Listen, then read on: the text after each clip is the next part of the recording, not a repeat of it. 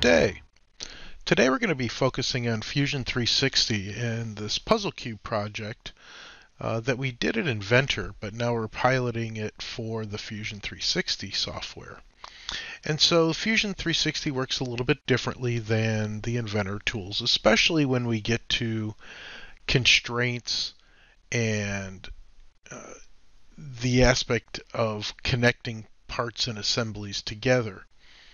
So Fusion uses a tool called joints, and that joint can be a multitude of different flexible style of joints, or in one case, a rigid joint.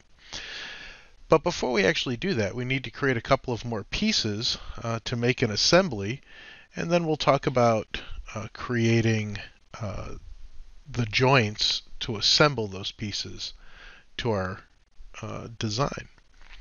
So what we're going to do is we're going to go ahead and create, under the File pull down, we're going to go ahead and create a new design. Uh, and what this will allow us to do is create a new object, and we're going to go ahead and sketch. And we'll pick the plane that we want to sketch on. And in this case, I'm going to sketch on uh, the base plane. And that base plane, we're going to create a shape and again, this is a one of the basic shapes that, that we typically create, as, or a lot of students create in a puzzle cube uh, project. And so this particular part has been created, and then we need to add the dimensions. So the process-wise is no different than what we've done in the past, and we can use constraints such as equal, to pick the top line and the other top line. There's the option of collinear to make sure that both of these are on the same plane. The height we need to dimension.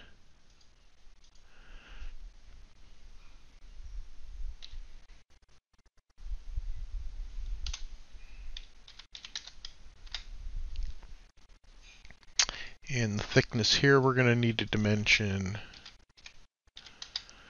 And the overall length, we're going to need a dimension.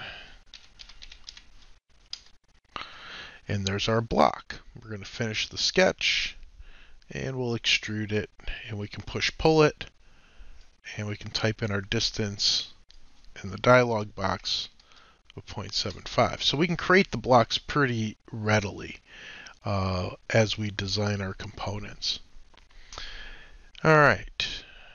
If we window around the component and right mouse click, we should be able to change the appearance pretty easily.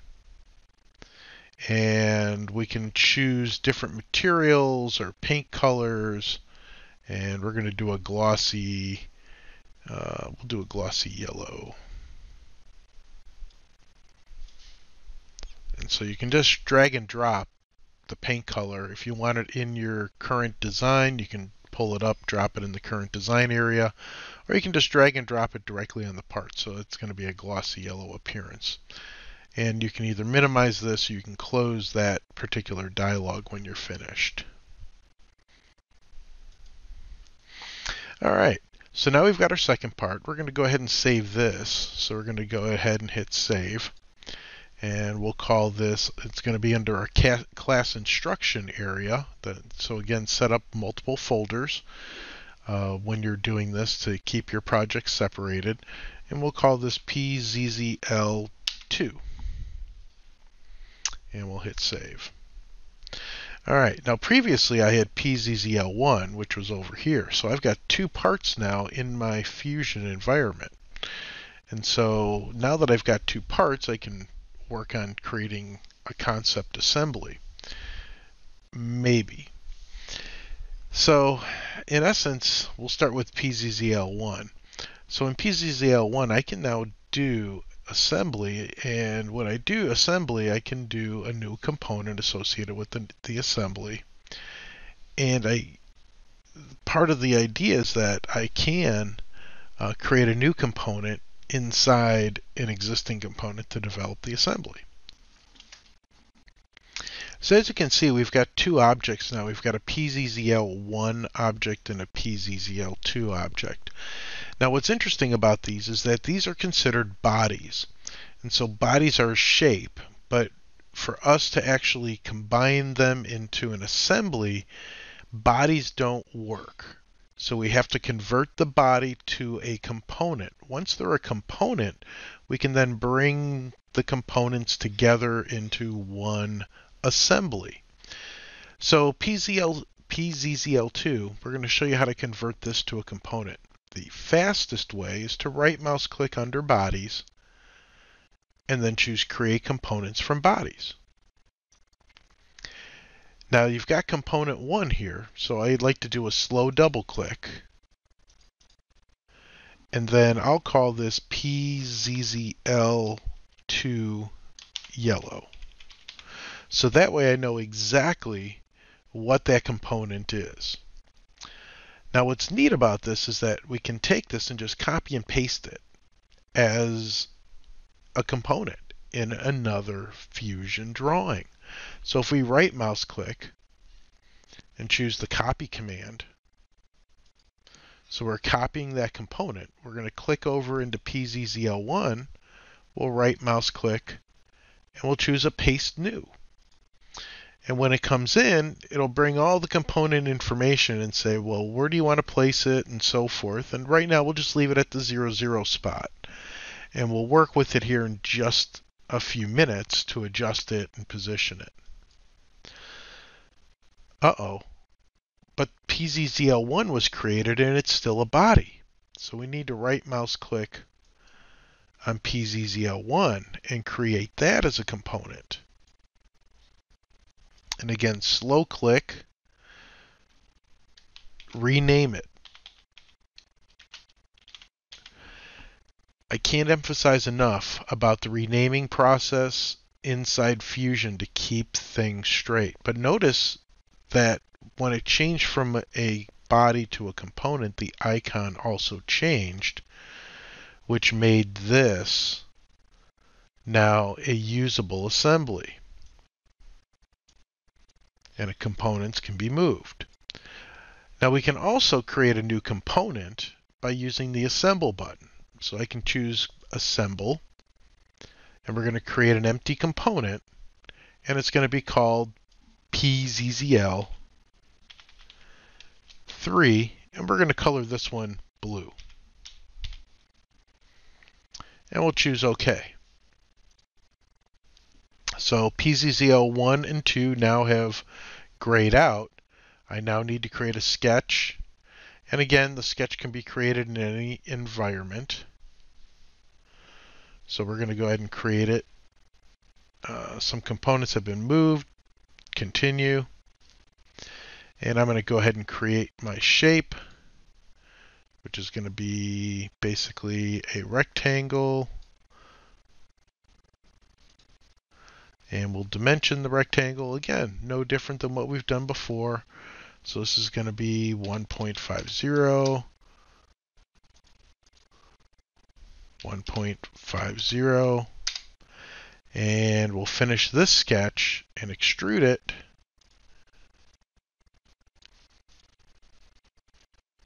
Point seven five. But now I'm going to put a new sketch surface on top of it and create a new rectangle from the corner. And let's see here is that the right way I want to do this nope I actually want to create the rectangle from this opposite corner here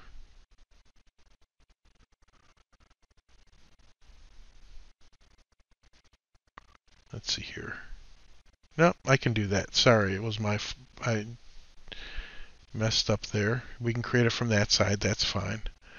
Um, that's going to be a 0.75 by 0.75.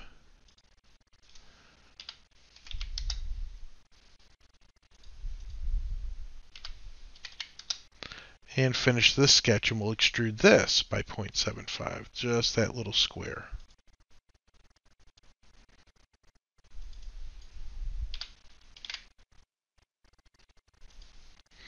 All right, now that we're done with our component, I'm going to go ahead and hit save. So we're able to um, save our particular objects. To color the object blue, we'll window around the object. Uh-oh, don't want to select all three. We actually just want to select this object and we probably want to select the top part also. So again, notice the difference. The dashed box will select everything. Everything must be inside the orange colored box, and if it is not, it will not select it. Okay, and we want to change the appearance. Oop, don't want to select that box. So let's do this. Let's move this out of the way first. Just grab and move it. Now, let's go ahead and window around it. Right mouse click appearance. Remember we had the appearance window here. And we want to find blue. We'll drop blue. We'll drop blue on our part. And that now becomes part of our design.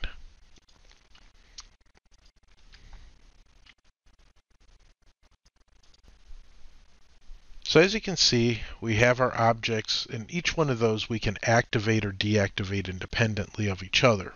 So we're doing the three components on the bottom here. The activation button is out on the end, and I can activate any one of the three objects. I'm going to go ahead and activate the red number one object. The easiest way to ground it is by right mouse clicking on the list of the component and choosing ground. Now it says that I've moved around some of the components. I want to capture their position so that way they're in a new location. So now this part is grounded. That one cannot move. The other components are still movable. And that's what we're shooting for. All right, so our next thing is that I need to activate all the components so we can see them and make them visible. So I go all the way to the top of the list, which is the very beginning activation. That's like the assembly level. And now I've basically created um, or turned on all the objects. So these particular objects are now going to need to be assembled. And we do the assembly process through the joint. So the joint command has us capture the current position.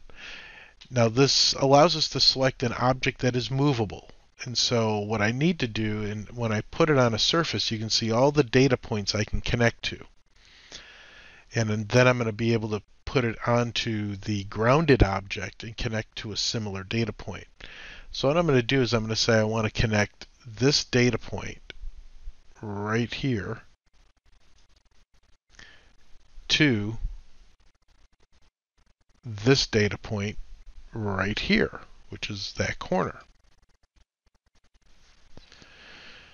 oh man, but it connected the correct point, but I might need to rotate the object. And so it allows me now to take this particular object and reposition it. And I can do that. In this case, I'm going to do a negative 90 degree rotation. So that way the block rotates in the appropriate position. And that's one of the really neat things about Fusion is that this is a rigid joint, so it's fixed. It's not going to move. But even within that one rigid joint, instead of setting an offset distance ABC, I can also then do the rotate. So I'm able to control exactly with one specific joint. So it's not a constraint where we had to create three separate constraints. We create one joint, adjust it as we need it, and it's finished. We're going to choose OK.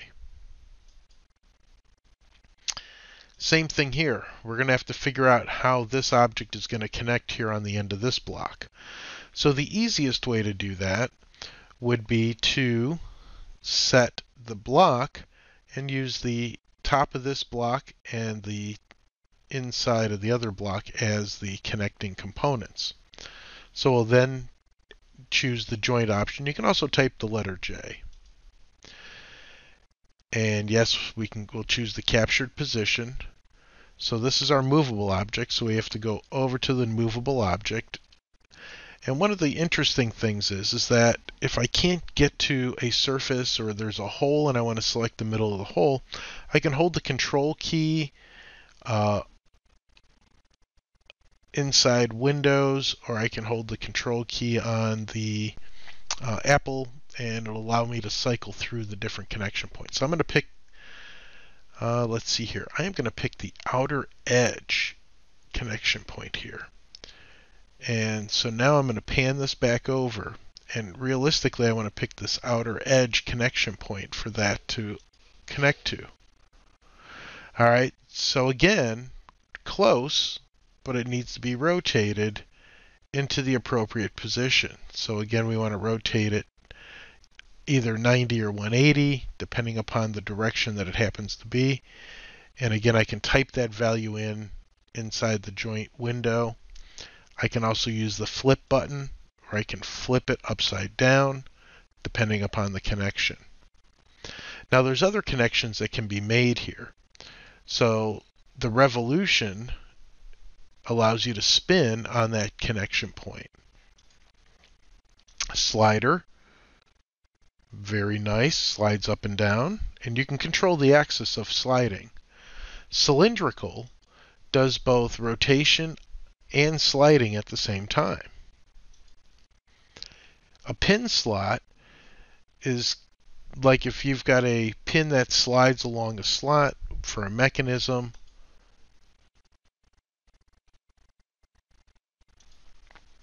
planar means it moves along on that surface. And then lastly, a ball is like a ball joint where you've got a, a uh, outer covering and a ball inside or a ball and socket kind of scenario. And it kind of rotates inside that component.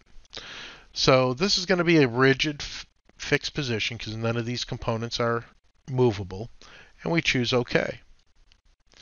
So as you can see, the joint command is one that's extremely powerful, significantly more powerful than constraints within Inventor because it only requires a single joint to place a component. Have a great day. We'll talk to you soon.